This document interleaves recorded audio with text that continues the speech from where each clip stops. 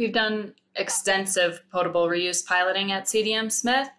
Um, you know, one of the applications just is just determining the right advanced treatment for the specific application. And commonly today, that is comparing carbon based treatment to membrane based treatment. So, comparing the full spectrum of advanced treatment. And then also, we've looked at more specific applications like pathogen assessments or quantitative microbial risk assessments. How much is each, each unit process removing pathogens to get to the final target goal?